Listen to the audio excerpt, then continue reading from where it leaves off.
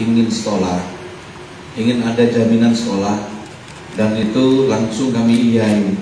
Karena apa pun itu tanggung jawab negara, tanggung jawab Pemkab Jember untuk bisa warganya itu sekolah. Saya bilang sekolah sampai kelas berapapun monggo, nanti masalah Pemkab akan kita bantu. Bupati Jember Hendi Siswanto memberikan bantuan sepeda angin kepada M. David Krishna Ramadan umur 11 tahun.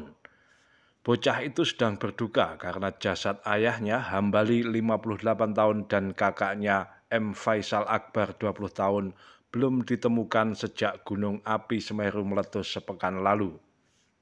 Saat kejadian, ayah dan kakak dari bocah kelas 5 MI Al-Huda di Desa Purwo Asri, Kecamatan Gumuk Mas, Jember itu sedang membeli pasir ke lokasi tambang milik Haji Satuhan di Desa Sumberwuluh, Kecamatan Candipuro, Lumajang. Biasanya mereka menjual lagi pasir itu ke konsumen di wilayah Jember. Hambali dan Faisal diduga kuat menjadi korban dalam peristiwa itu. Rama dan ibunya, Mugiati 55 tahun juga sudah coba mencari Hambali dan Faisal ke Lumajang, tetapi sampai kini belum ketemu.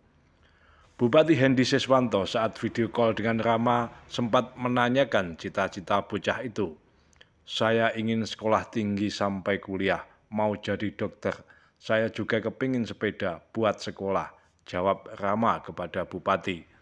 Selain sepeda gunung, Rama dan ibunya juga mendapatkan santunan sembako dan peralatan sekolah. Bupati Hendi Siswanto juga akan menjamin biaya sekolah hingga kuliah bagi Rama. Hendi menyebutkan bantuan terhadap warga terdampak erupsi juga telah diserahkan. Ada 222 warga terdampak erupsi yang mengungsi di sejumlah kecamatan di wilayah Kabupaten Jember.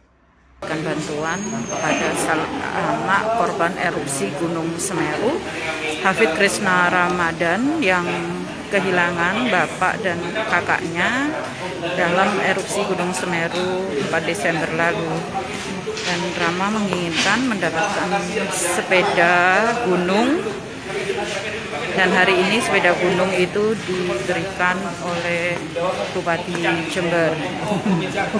Tetap sekolah sampai kuliah atau gimana? Mau cita-citanya apa Cita-citanya? Eh, jadi apa? Yang keras? Dokter.